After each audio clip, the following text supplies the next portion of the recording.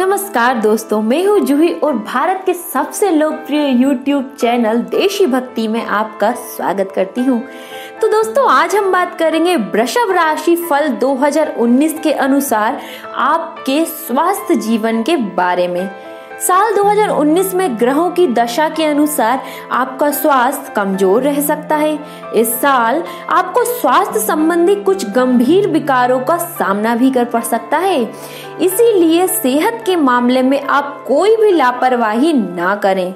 अगर कोई स्वास्थ्य संबंधी परेशानी आपको है तो आप तुरंत ही डॉक्टर से परामर्श लें। साल के शुरुआती छह महीनों के दौरान आपके ये अच्छे साबित नहीं होंगे। अतः जनवरी से जून के दौरान विशेष सावधानी बरतें। इस अवधि में मानसिक शांति भंग हो सकती है, लेकिन योग और ध्यान करने से आत्मबल बढ़ेगा। काम के साथ साथ आप खान पान पर भी ध्यान दें और संतुलित आहार का सेवन ज़्यादा से ज़्यादा करें। व्यस्त दिनचर्या से समय निकालकर आप व्यायाम कर सकते हैं और पर्याप्त नींद भी ले सकते हैं। कोशिश करें दोस्तों कि आपको इस तरह की बीमारी जैसे चिकनगुनिया, डेंगू आदि ना हो और यदि ये होती है तो आप इनका समय रहते उपचार ज़रूर कराएँ।